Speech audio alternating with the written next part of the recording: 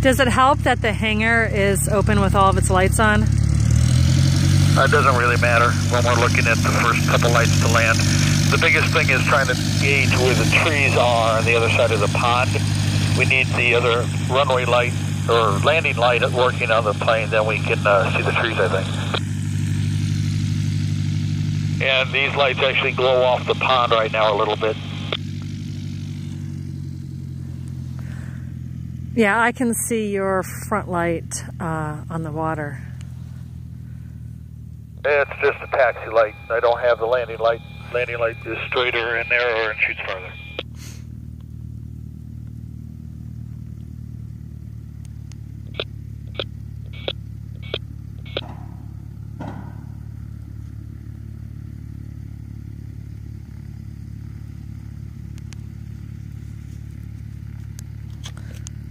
Is Matt getting any uh, video of this?